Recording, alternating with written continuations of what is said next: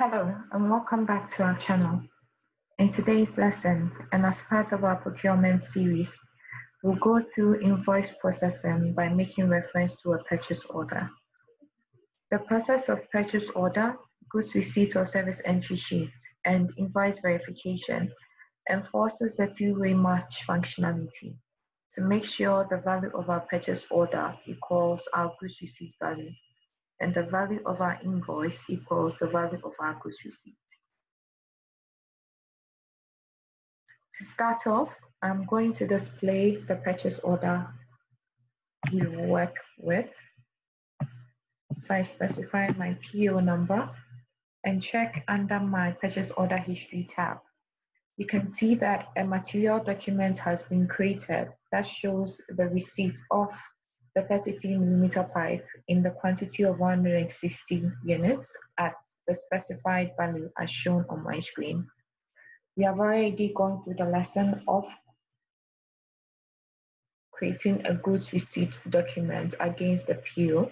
You can follow the link on the screen if you have not watched this video yet. So moving straight to our creating supplier invoice transaction, we'll go ahead and specify our invoice date as well as our invoice reference number. Then ensure that the entry here specify that we are making reference to a purchase order. Indicate our purchase order number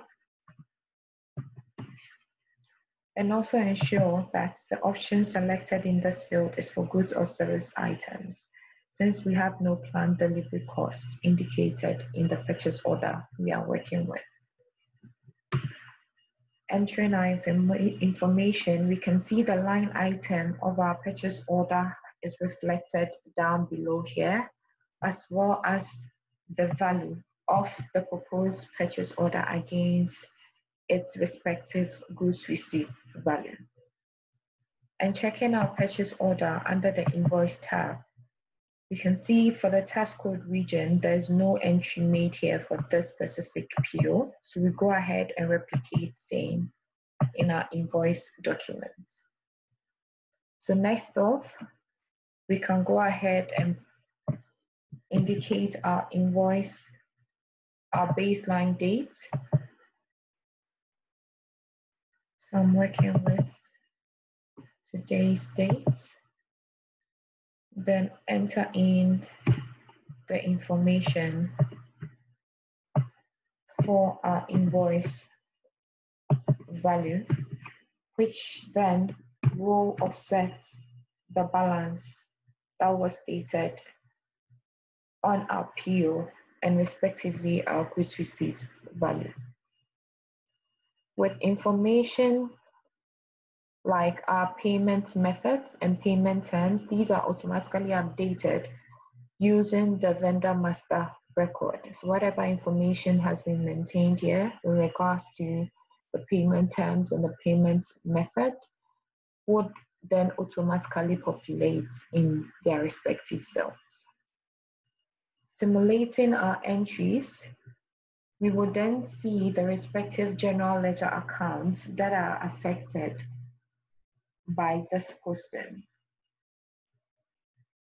So here you can see the vendor accounts and the clearing accounts, which is our goods receipt and invoice received GL accounts would be credited and debited respectively as shown on my screen. So I can go ahead and post my invoice document.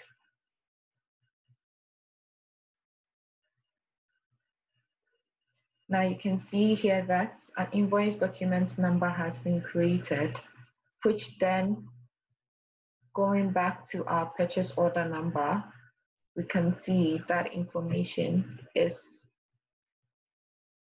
updated in our purchase order history.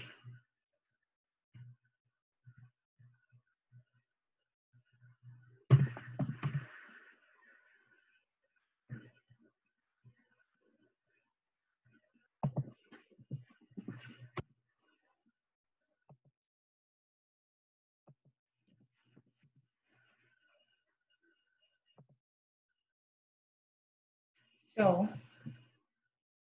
with the material documents we saw initially, you can see that the purchase order has been updated with the invoice document that was created for the same value of 878.81 US dollars. This brings us to the, less, the end of the lesson for today. Don't forget to subscribe to our channel to view more videos in regards to our procurement. Thank you.